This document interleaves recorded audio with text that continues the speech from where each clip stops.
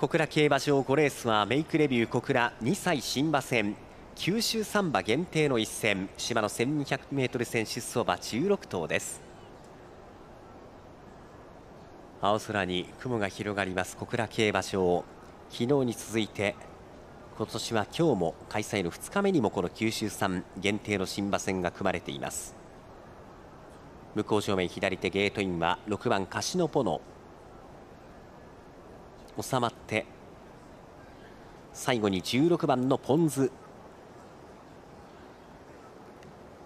ポンズがゲートに入りました。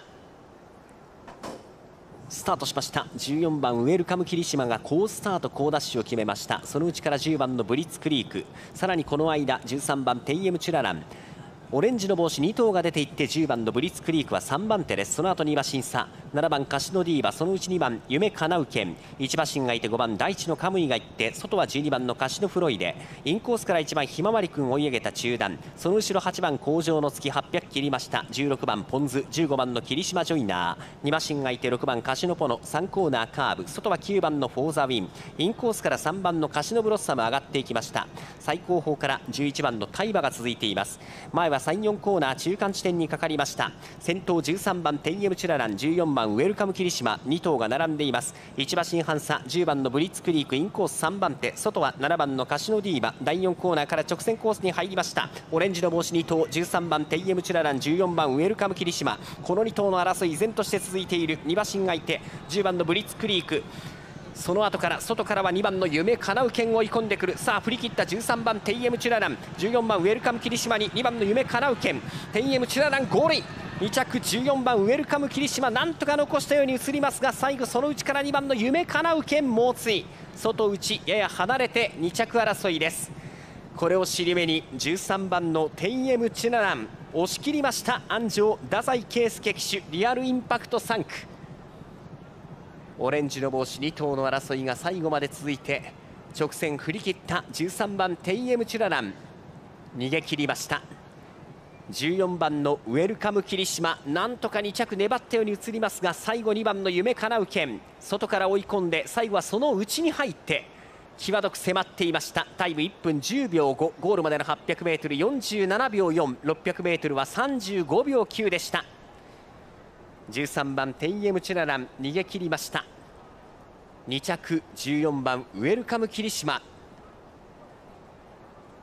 1馬身半差で続いて最後はその内へと入って猛追2番夢かなうけん及ばずの3着。あとは2馬身2馬身半と空いて10番のブリッツクリーク4着。そして1番のひまわりくん続いています。あとは離れました。小倉競馬5レースが終わっています。到達順上がって1着は13番テンエムシュララン安城太宰圭介騎手。2着14番ウェルカム霧島。3着2番夢かなうけん4着は10番ブリッツクリーク。5着1番のひまわりくんです。確定までお待ちください。